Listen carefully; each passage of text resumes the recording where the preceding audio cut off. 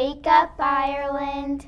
My name is Presley. And I'm Maggie. Good morning. Today is Friday, October 27th, 2023.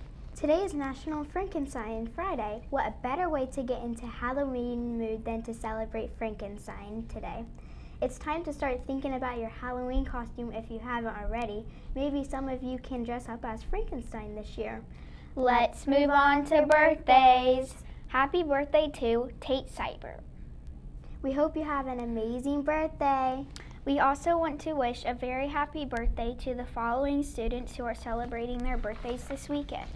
Jet Sermerstein, Archer Maringer, Bria Daniels, and Henry Rote. One,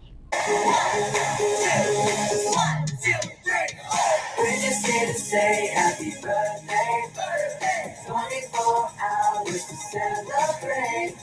And now, What's cooking? Lunch, lunch, it's time for lunch. Lunch, it's time to munch, crunch, eat a bunch, get up to lunch, then take the plunge. Why we still singing when we could be eating? Nutritious, delicious, auspicious, propitious lunch. Let's eat.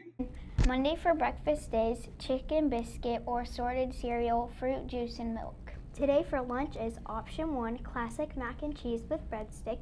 Option two, turkey and cheese sandwich. Option three, SunButter and jelly sandwich. Your hot side is seasoned green beans.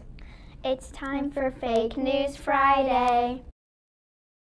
Welcome to Fake News Friday from your Student News Network. You can't always believe everything you read, especially on the internet. Do you think you could decipher the real news from fake news? Let's find out. Which fact is true about dreams? Over 50% of people dream in black and white. B. You dream about two hours per night, but forget most of your dreams. One of these is true and the other is fake.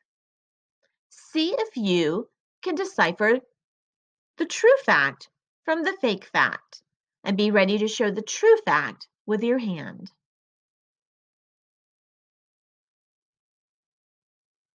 Let's see how you did.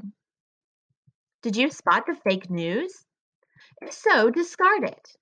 Which one is true? Go ahead, show it with your hand. Let's see if you were right. The true fact was B.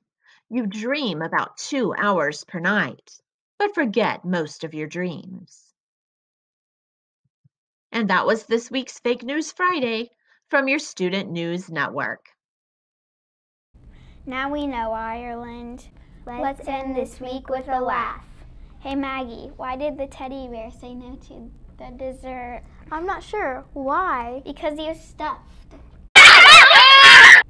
That's all for today, Ireland.